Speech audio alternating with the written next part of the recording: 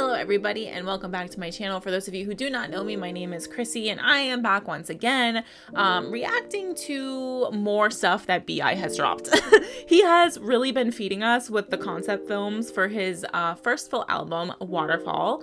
And if any of you have not seen, I have reacted to all of his track films, the Waterfall performance film, just everything. Um, it should be up on my channel if you guys are interested in watching my reactions and my thoughts on BI and his whole come back with his first full album and all that stuff, please go uh, on my channel and look for that. However, I have not seen yet. Um, he has dropped the lyric mood film, and uh, so this says it's the Illa. It's called Illa Illa lyric mood film, and then also from waterfall to Illa Illa.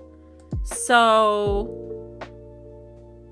yeah. So, uh, anyways, I I guess that's his title track, um, Illa Illa. I'm pretty sure that's what it what it's called. Um, but I have not seen these two videos yet, so I am going to uh, watch them now, and I'm excited to see what he's got. So let's do the. I think we're gonna do the the mood film first.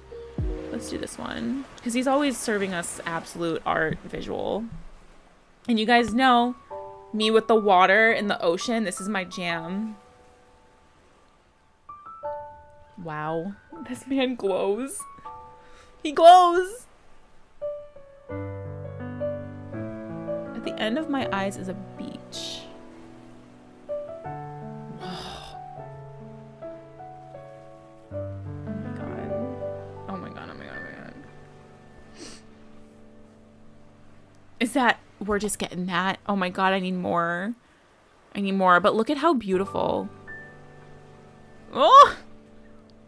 He's so stunning, it's gross. How can someone be that attractive? I don't get it. All I know is I'm just so here for this whole waterfall, um, seaside, like beach type thing going on for this concept. Um, this one is the waterfall to Illa Illa. So let's watch this and see what this is. Oh. Uh, oh. Oh, uh, uh. Oh, oh, he's working hard. He said, "Welcome to my label."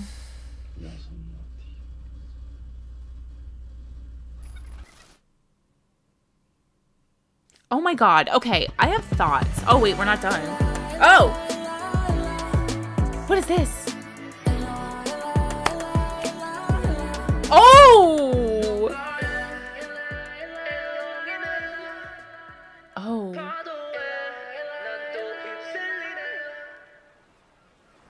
Oh, I was getting into that beat real quick. This sounds like album of the year.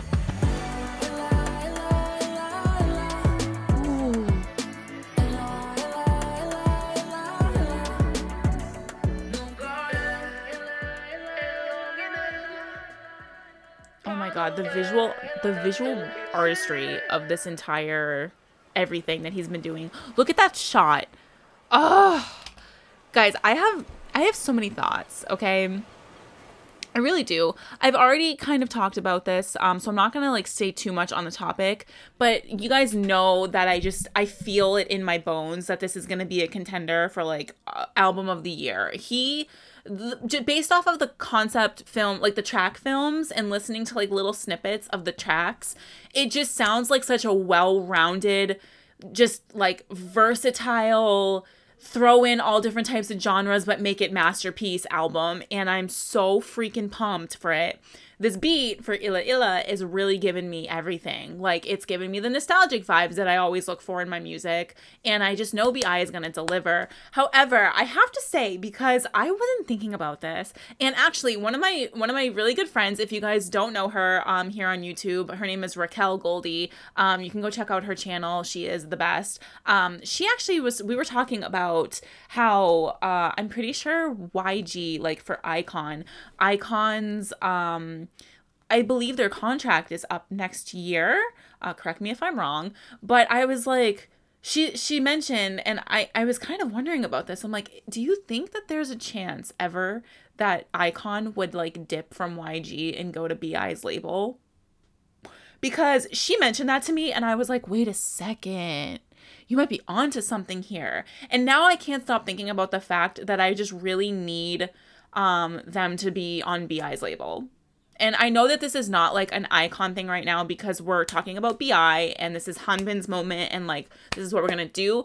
But I mean, it would make sense, wouldn't it? And I keep thinking about that, um, especially where I was talking about in the last uh, couple track film reactions that he hadn't put who the features are for some of his tracks. And I was like, just like Bobby, because Bobby had um like DK on his album. He had a couple of the members on his album do features. And I was like, what if BI had a couple of the iKON members as features on his album? And that's why now my brain can't stop thinking about the potential of iKON maybe dipping from YG and going back to BI. And it's kind of like making me emo. but I was just wondering what you guys thought about it. Um overall back to like the actual concept of uh this album and everything. Uh it's it's to be incredible. The hype up for his album is is there. People are so excited about it. Uh I know that the album is to do numbers. I haven't checked to see uh how many pre-orders he's gotten yet but um, to be honest, though, it doesn't really matter anyway because uh, art and making an impact and being iconic, legendary does not have to do with numbers, in my opinion.